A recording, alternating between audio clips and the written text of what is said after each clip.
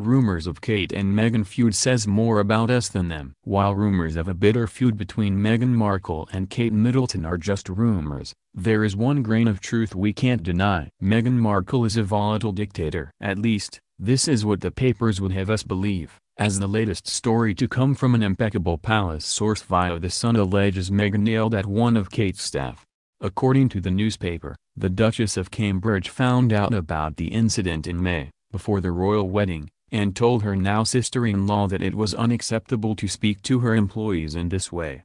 The palace has issued a rare comment on the gossip, categorically stating that is untrue, for all the good it did. This allegation is just one more drop in the ocean of rumors drowning Kate and Meghan in the public assumption that they don't get on. And how could they? They're two attractive women in similar high-profile positions. Society has a Hunger Games mentality when it comes to these matters, only one can prevail in order for us to make sense of it all.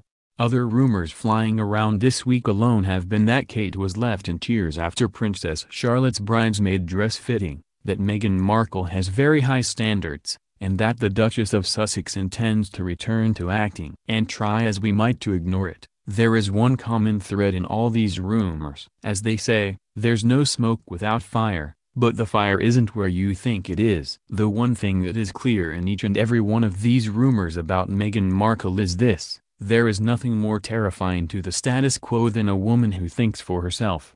A woman who dares to move too far outside of the role dictated for her by society will experience the rubber band snap of public opinion sooner or later. And what started as a trickle of backlash after everyone got sick of writing about Meghan's bump has now become a roaring tide. The crazies on Twitter won't like it but it is clear that Meghan is regarded as difficult and demanding by some in the family and on staff, wrote royal correspondent Richard Palmer on Twitter last week.